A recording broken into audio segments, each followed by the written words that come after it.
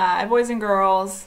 Today we are going to be telling time to the nearest five minutes. Okay?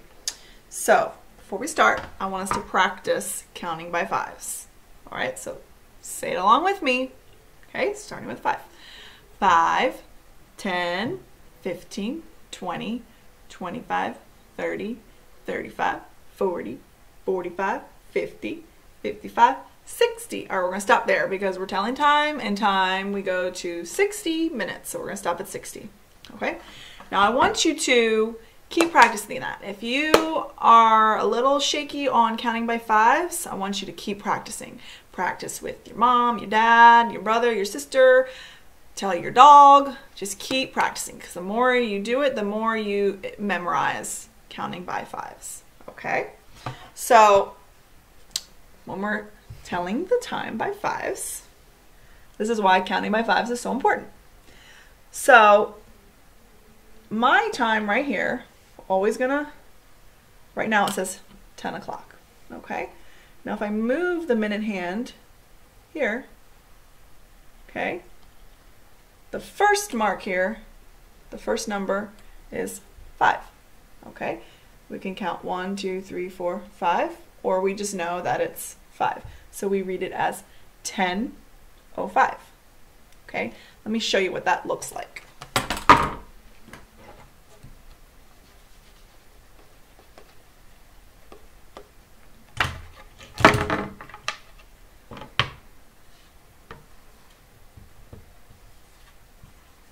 Okay, that's what that looks like.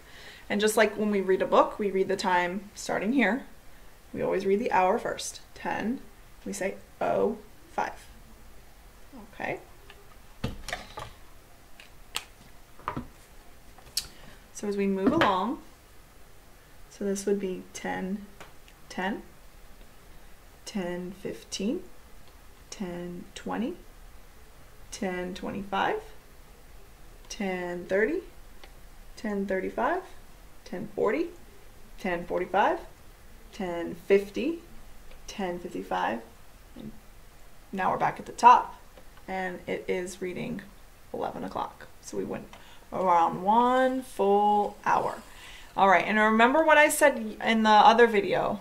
I mentioned about um, marking your clock on your worksheet with the minutes on the outside of the hour numbers. Okay, so you should do that. Go ahead and do that whenever you start your math.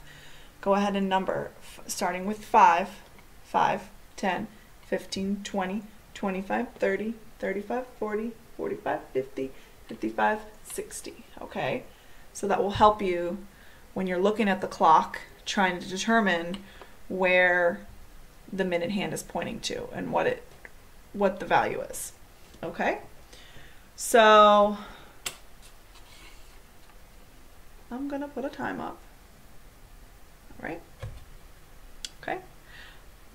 All right, just like when we were telling the time yesterday, to time to the hour and the half hour, you are, you find the hour hand. Okay, what number is it pointing to?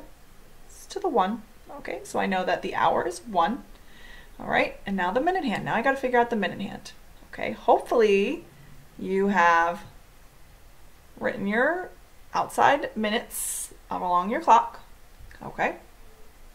So now I'm gonna, I always start, I always start back at the top. So I'm just gonna start here, five, ten. What I say my hour was?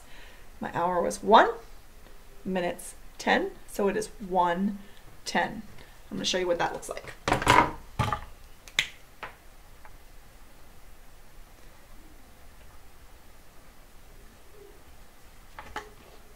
Okay, that's the time, one,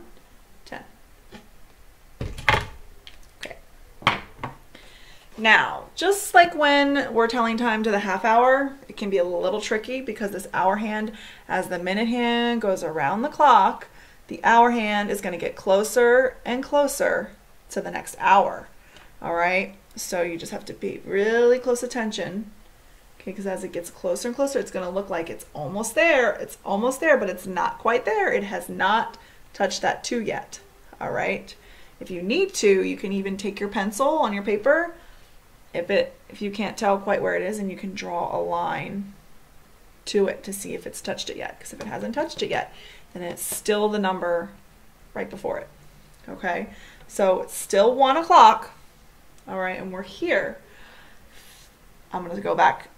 I can either go all the way back here start at the top or I know that this is half of the hour 30 minutes. I can start here. 30 35 40 45.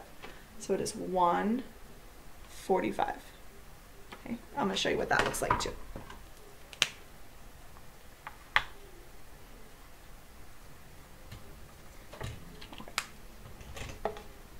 One forty-five. All right. Okay, we'll do a couple practice times together, and then hopefully this will help you with your worksheet, your ex your assignment. All right, let's see. Okay. All right. Give you a minute to look. Look at the clock. You can use your finger to see where it lines up. Okay. So I'm going to find the hour hand. Hour hand, remember, is the smaller hand. Okay. You can look at them and tell which one's the smaller hand. Hour hand is by the 3. Okay, it hasn't moved on to the 4 yet, so it's not 4. It is still 3. The hour is still at 3. And now I'm going to find my minute hand. Okay, so my minute, I know, let's start back at the top. 5, 10, 15, 20, 25. So it is 3, 25. All right, let's try another one.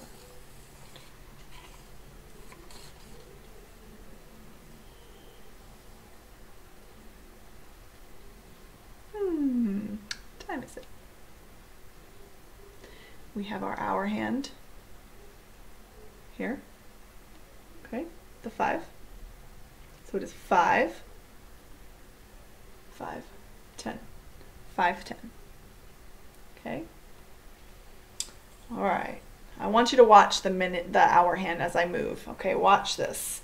Watch how close it's going to get to the six. Okay, not quite at the six. It's not fully at the six. Okay, it's not fully at the six. Okay, so still, it is not fully on the six. It's almost there. It's very, very tricky, guys.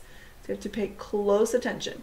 So five, you have to know that five, 55, is so close to six o'clock. So that hour hand is going to be closer to the six than it is to the five, but it is still five.